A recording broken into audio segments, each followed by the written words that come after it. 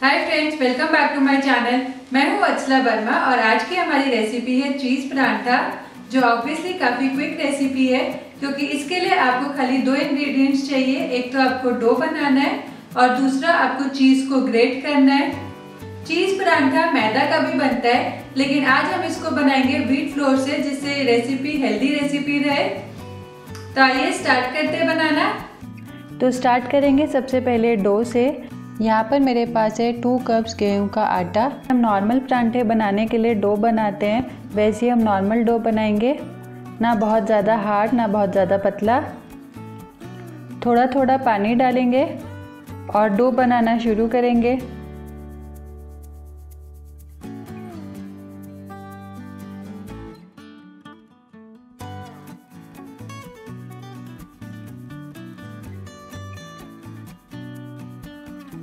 और अब हम डालेंगे थोड़ा सा salt around half teaspoon थोड़ा सा पानी ऐड करेंगे और डो को अच्छे से नीट कर लेंगे।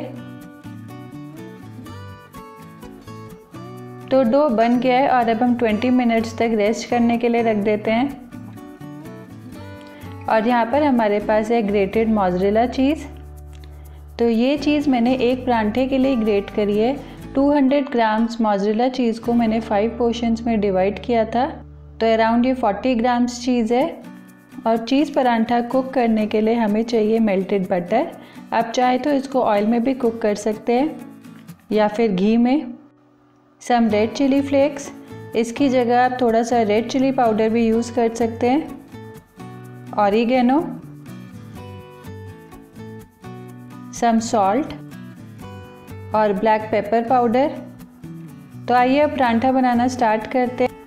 थोड़े से आटे का हम पोषण लेंगे और एक बॉल बनाएँगे।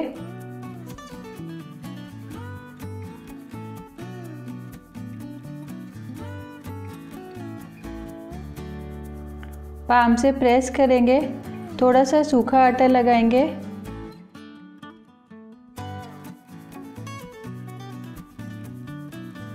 और रोलिंग पिन से थोड़ा सा फ्लैट करेंगे। तो यहाँ पर हमने थोड़ा सा फ्लैट किया है और अब हम इसमें चीज़ डालेंगे। ऊपर से स्प्रिंकल करेंगे थोड़ा सा सॉल्ट ब्लैक पेपर ऑरिगेनो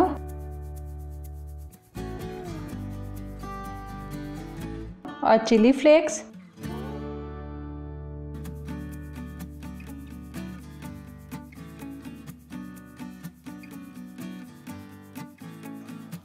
और अब इसको सारी साइड से अच्छे से बंद कर देंगे, जिससे चीज़ बाहर ना निकले।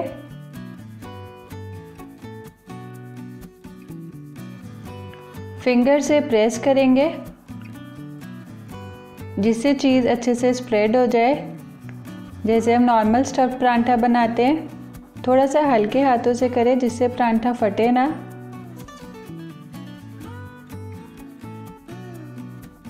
और अब थोड़ा सा ड्राई आटा लगाएँगे और फिर दोबारा रोलिंग पिन से इसको फ्लैट करेंगे।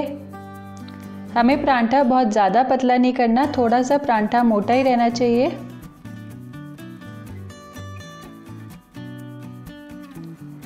तो आइए अब इसको सेक लेते हैं। तवा को थोड़ा सा गरम करेंगे और इसके ऊपर परांठा रख देंगे।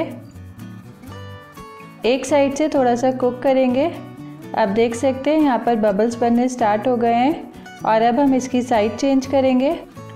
तो ये साइड थोड़ी सी कुक हो गई है और अब हम इस पर बटर लगा लेते हैं।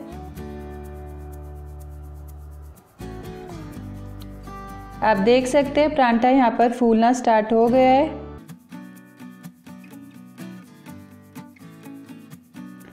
तो अब इसकी साइड चेंज कर लेते हैं। इस साइड पे भी थोड़ा सा बटर लगाएँगे।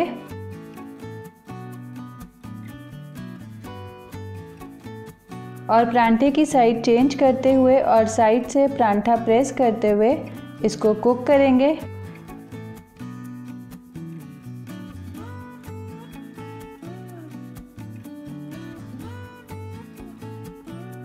तो चीज़ परांठा कुक हो गया और आइए अब इसको प्लेट में निकाल लेते हैं।